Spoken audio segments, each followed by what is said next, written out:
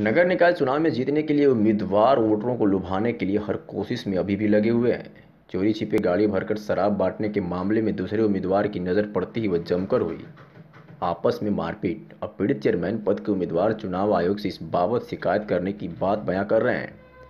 शाम ढलते ही बिजनौर के सिवहारा इलाके की नगर पालिका में चेयरमैन पद के सपा उम्मीदवार नईम नईम लहसन मोहल्ला से खान में चोरी छिपे कार में रखी शराब की बोतलें वोटरों को बांट रहे थे। इस दौरान चेयरमैन पद के निर्दलीय उम्मीदवार फैसल वारसी की शराब बांटने पर जैसी नज़र पड़ी तो उन्होंने शराब का विरोध किया। उसके बाद दोनों समर्थकों में जमकर मारपीट हुई।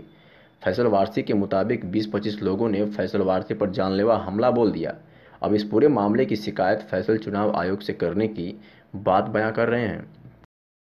भाई, क्या मामला है जो आपके साथ घटना घटी आज? क्या पूरा जानकारी विस्तार से बताइए भाई, गाड़ी वैगनार यूपी चौदह B V double zero two four ये वाइट कलर की गाड़ी थी, इसमें मैं बाहर जा रहा था इधर, ऐसी मिलने किसी से।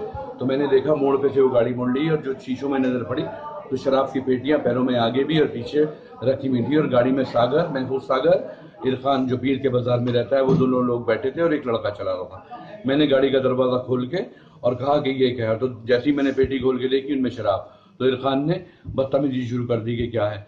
इतने में ही ड्राइवर भाग गया उतर के। मोहल्ले वाले आ गए। जब मैंने देखा, देखो मोहल्ले वाले ये क्या बांट रहे बच्चों को शराब बांट रहे हैं। शेखान मोहल्ले से ही लोग शराब बांटते हुए आ रहे थे, जो इधर की तरफ़ है। और उसके बाद उन लोगों ने उनके ड्राइवर ने फ़ोन किया।